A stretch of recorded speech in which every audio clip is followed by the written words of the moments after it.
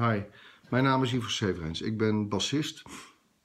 Al zo'n 30 jaar professioneel bezig. Herman Brood, Kane, Waylon. Bemoei me ook met popmuziekonderwijs, Herman Brood Academie. Rock City Institute en Metal Factory. Dat zijn twee opleidingen in Eindhoven. En ik woon ook al 30 jaar in een bos. En ik vraag me steeds vaker af, waar kun je nu heen als beginnend muzikant? Jong of oud, bands, dance, hip-hop. Waar zijn die plekken te vinden buiten de W2? Waar je kunt repeteren, waar je elkaar ontmoet, waar je dingen kunt uitproberen met elkaar, waar je kunt spelen.